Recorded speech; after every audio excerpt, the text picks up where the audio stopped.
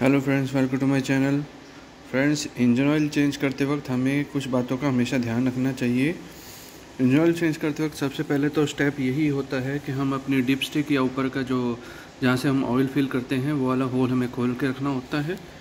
नीचे से जो है आपका जो नट होता है इंजन ऑयल निकालने वाला ड्रेन का ड्रेन प्लग जो होता है, वो खोलना होता है।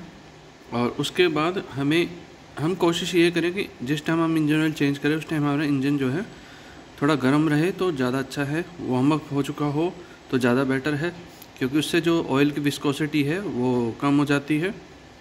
मतलब ऑयल पतला हो जाता है, कहने का मतलब ऑयल पतला हो जाता है। तो इसकी वजह से ऑयल जो है ना छोटे छोटे छेदों में से और बारीक जगहों में से निकल के बाहर आ जाता है अपने साथ सारा कचरा भी बाहर लेके आ जाता है। साथ ही साथ जो इंजन ऑयल के अंदर जो पार्टिकल्स होते हैं, वो निकल जाते हैं, जो भी वियर एंड टेयर होते हैं। तो उसके बाद इंजन को आप कम से कम 15-20 मिनट जो है, ऐसे ऑयल को निकलने देना है हमें 15 से 20 मिनट।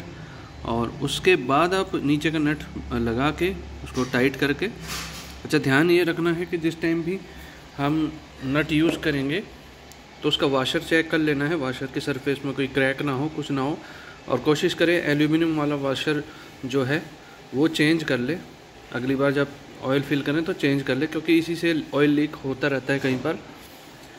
और, उसके बाद आप इंजन ऑयल को फिल करें। और ऑयल फिल करने से पहले ये जो यहाँ पे कचरा होता है, जितना भी, इस कचरे को जो है साफ़ कर लेना चाहिए, क्योंकि इंजन ऑयल भरते वक्त यही चीज़ है ये इंजन के अंदर चला जाता है और वेयर एंड टेयर बहुत जल्दी करता है आप इंजन को।